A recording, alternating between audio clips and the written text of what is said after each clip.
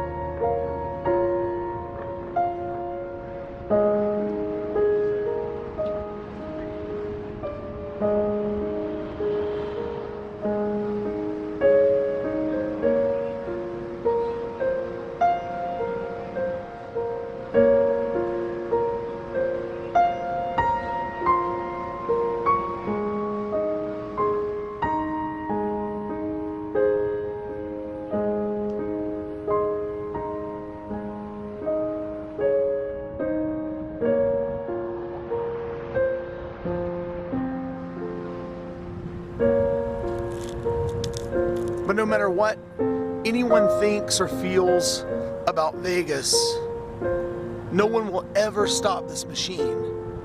The machine that is Vegas or the machine that is life. Vegas is fueled by life. And for a lot of people, a lot of people, life is fueled by Vegas. So that's it. It is. It just is.